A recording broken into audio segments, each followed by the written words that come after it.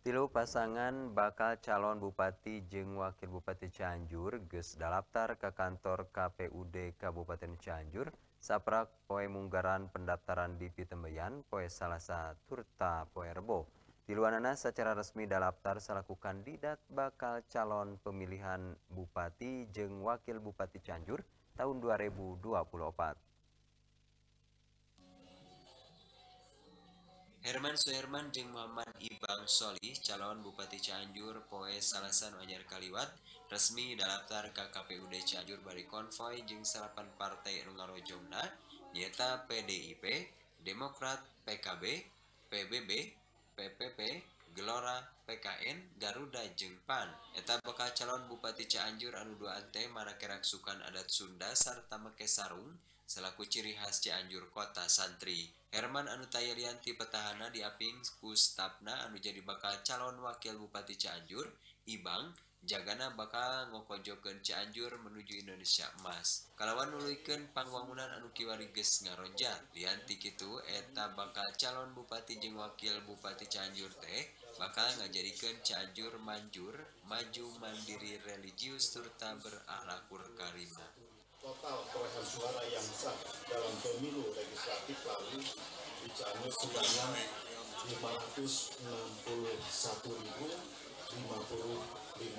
suara yang sah jauh di atas syarat minimum pencalonan yang ditetapkan sebanyak 82,492 suara.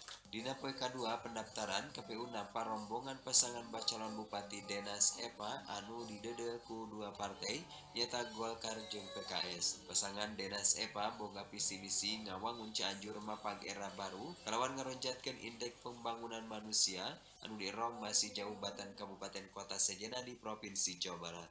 Begitu menggembirakan bisa bersaing di Jawa Barat. Salah satu hal yang patut kita soroti adalah rendahnya IPM di Cianjur di Jawa Barat. Ke terakhir Jawa Barat rendahnya IPM Cianjur itu tertinggal bahkan kabupaten terakhir di Jawa Barat dengan IPM terendah. Oleh sebab itu tentu kami punya strategi mempunyai visi misi yang mengarah ke sana. Partai Nasdem jeung Partai Gerindra matak ganjil pilkada tahun kiwari lantaran ngadede publik figur artis nyata Wahyu jeung Ramji selaku pasangan bacalon anu daftar pamungkas. Eta pasangan teh optimis karena visi misina anu sejang ronjatkeun pangwangunan dina widang atikan, kesehatan gratis jeung kompensasi gaji RT tur RW gedena 25 juta setahun. Ramji miharap warga Cianjur kaharepna leuwih raharja. Ketua KPU Kabupaten Cianjur Muhammad Ridwan nembrakeun kiwari taya pasangan calon ti jalur perseorangan atau independen. Tapi kapoe Romo Berang KPUD Cianjur geus nampa tilu pasangan bacalon bupati jeung wakil bupati. Kiwari kari nyorang pemeriksaan atau verifikasi berkas persyaratan bacalon anu jagana bakal secara resmi ditetapkan jadi calon bupati jeung wakil bupati.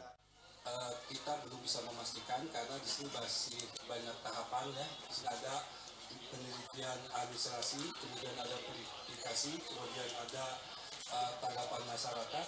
Jadi sebelum tanggal 22 penetapan itu masih proses uh, pem, apa, apa uh, verifikasi tugas dan penelitian administrasi. Heri Setiawan, Bandung TV.